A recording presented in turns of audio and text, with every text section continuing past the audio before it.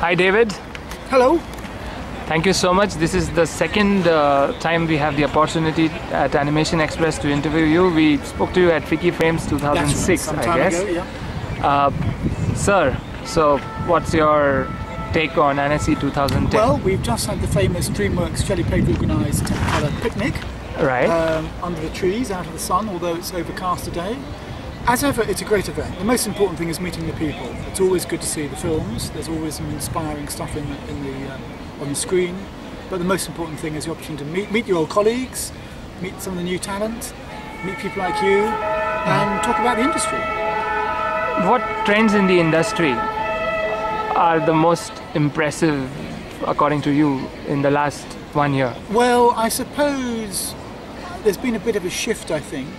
Um, 3D features is a big thing. You mean stereo? Stereo, yeah, 3D stereo in the feature film part of it.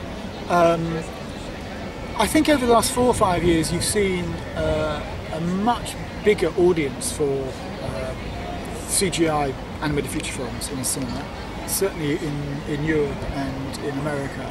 And that's building into quite a big business, actually, in all sorts of ways. I think the studios are finding they've got too expensive.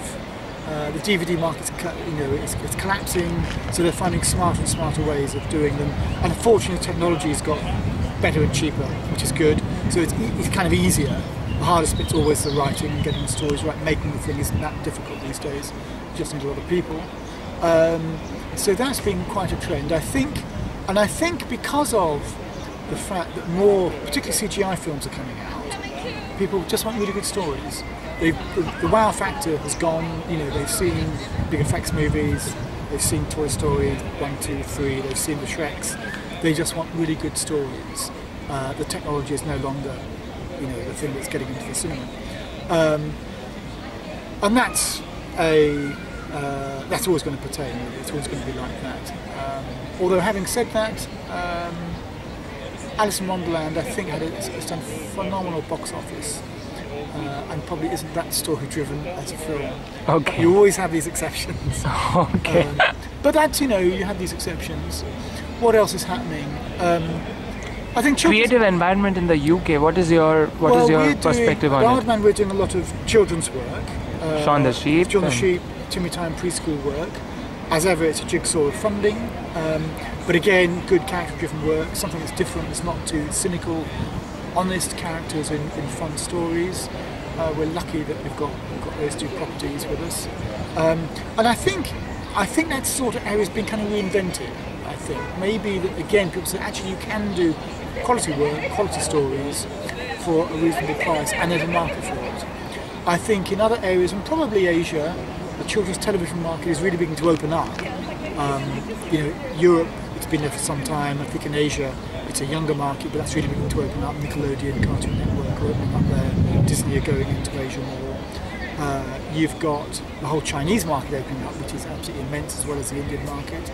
So they're great opportunities, and I think particularly for indigenous filmmakers in those countries to to tell sort of modern versions or contemporary versions of their traditional stories in their own culture for their own people. I think in those territories is a fantastic opportunity, actually.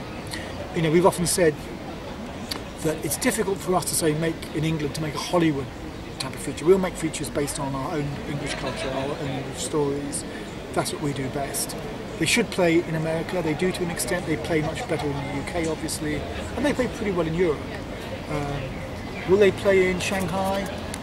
Maybe, maybe not. Um, but I think you know, dealing with your own culture and your own cultural traditions is, is certainly where to start.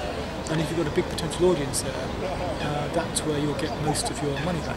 Most Indian studios are aspiring to make what is termed as universally accepted content or globally Yeah. accepted content, which means not necessarily Indian cultural Yeah. content. What Yeah. is your point of view on that? I think it's a very interesting and possibly misleading term. Okay. Personally, um, here we are at Annecy, Yeah. a beautiful town in France. So different to the towns in England, which is why we love it. It's different. The food's different. The scenery, the scenery is different. The scenery is different. Um, the girls are different. the atmosphere is different, and we celebrate that difference. Right. And we wouldn't want it all turned into a McDonald's or a burger bar, or to be like an English town. So why would you want to try and homogenise stories in the same sort of way?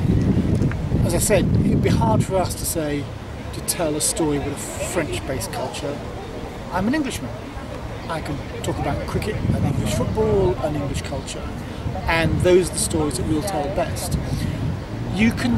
What you do find is that in every culture there are families, and the best stories revolve very broadly around those family relationships, and you know those relationships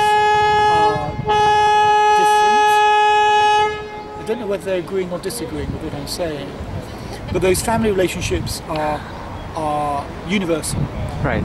They will differ uh, within those cultures, but the fundamental relationships and the fundamental emotion drive is the same. Uh, and I would say that if you're in India or Asia or China, the thing that will find an audience universally for you is a film about family, but set it in your own culture because that's what you understand. Right. I think otherwise it'll look false. You'll try and make a sort of, it'll be a slightly American Pseudo. pseudo, and it'll be heartless because it won't have the passion or the detail or the nuance that an indigenous story has. And people love to see different sorts of stories. You know, fundamentally, story's all about falling in and out of love or good versus bad. You know, there are only so many story plots in the whole world, and what you want to see are the changes that are run around those plots. And that's why we enjoy foreign films, foreign tales, foreign countries.